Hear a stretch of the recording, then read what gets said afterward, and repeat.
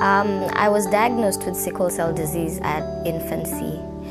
Um, most of my childhood years were spent not knowing exactly what was happening to me. I was in and out of the hospital, times for a week or even more. In and out of the hospital with my mother. She'd be by my bedside. I really couldn't comprehend what was what was happening to me. Um, my first two years of high school were a bit tough on me because this is when I begin to become aware. I begin to become aware of my condition and just to know what was happening to my body. And so um, I felt stigma at that point, and a cloud fell upon me during my high school years. Um, I saw many people around me, friends and family alike, um, pass away from the condition, sickle cell disease, at very young ages, at very tender ages. So I'd live my life with this blanket on me, thinking that this very dark blanket, thinking that um, it's probably me next. I wouldn't know when I'd just drop down and die or be in crisis and had to rush into the emergency room.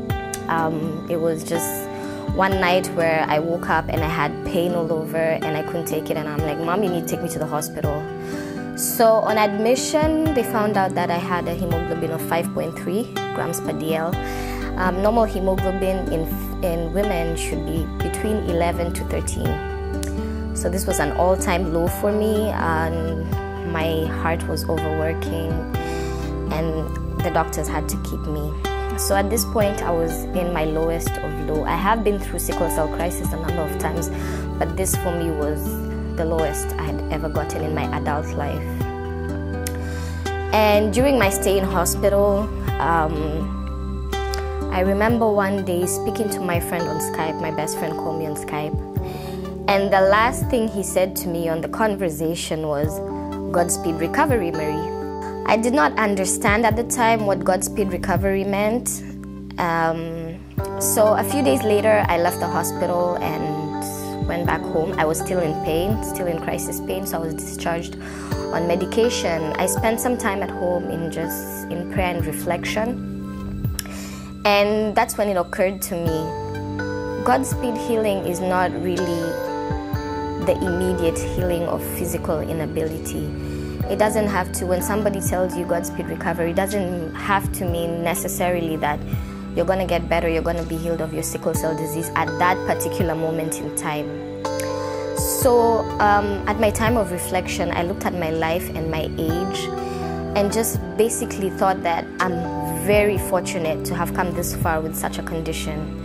I've watched many people go before me, others who suffer way beyond me. And that's when I got the Godspeed recovery in me. Um, there was a mental turnaround. I stopped looking at sickle cell disease as a disability, but as an ability. I stopped looking at my life as a life whereby one day I'll just drop down and, you know, leave or just be sick and incapacitated. I stopped sitting in the house and feeling sorry for myself and just came out and wanted to speak of the goodness, of the spiritual goodness, the revival that I had received. And so my Godspeed recovery still does continue. Um, I have a very, very positive mindset.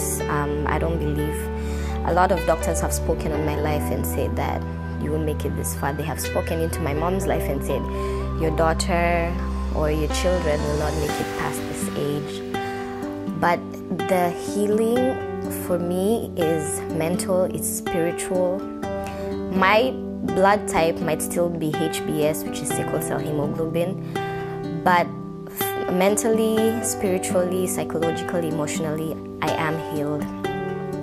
And the funny thing is, once this mindset came in, I haven't really been sick. I haven't said that I have had to deal with as much crisis pain as I used to or physical inability. I compete like any other individual, be it at school, be it at work, be it um, physically outside training, exercise, whatever it is, I'll be there to compete like any other individual.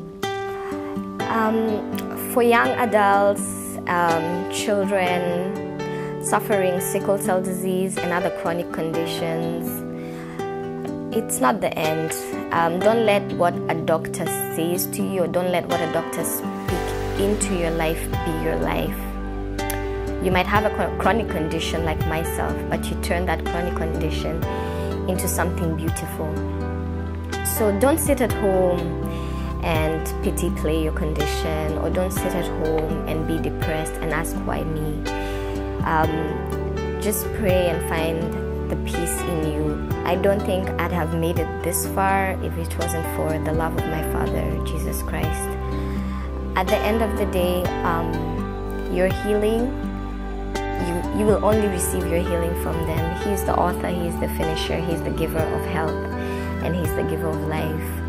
And so I just encourage you to take some time out of your schedule and just pray when you're feeling low take some time out and pray because He has seen me through, and I'm sure He is going to see you through whatever battle it is that you may be facing.